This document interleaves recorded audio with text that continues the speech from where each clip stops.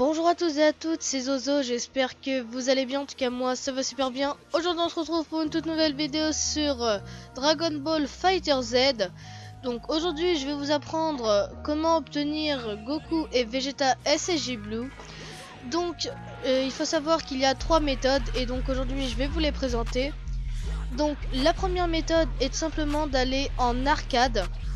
Euh, et de faire les deux modes arcade en difficile, donc celui de la salle d'esprit et du temps pour pouvoir débloquer Vegeta SSJ Blue et celui de la capsule euh, de gravité euh, et celui de la capsule de gravité pour débloquer Vegeta SSJ Blue. Donc il faut bien sûr les faire en difficile et réussir tous les combats en rang A. Donc ce qui favorisera les chances de tomber les personnages.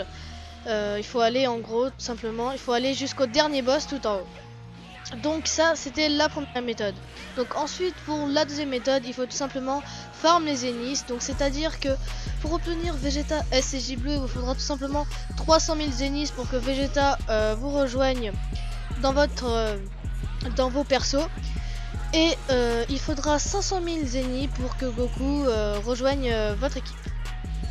Donc pour la troisième et dernière méthode, vous pouvez tout simplement euh, ben, aller sur le PlayStation Store et euh, payer la maudite somme de 2,99 euros.